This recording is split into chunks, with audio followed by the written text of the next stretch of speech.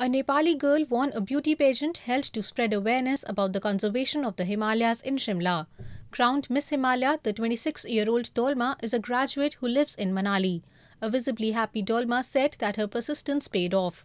मैंने जो सपना देखा था वो आज मेरी पूरी हो गई क्योंकि मैं चार साल से इस मतलब परफॉर्मेंस कर रही थी पर मैंने हार नहीं माना था पर आज मैं जीत गई तो मेरे लिए बहुत खुशी की बात है She urged people to help her country Nepal overcome the devastation caused by severe earthquakes earlier this year.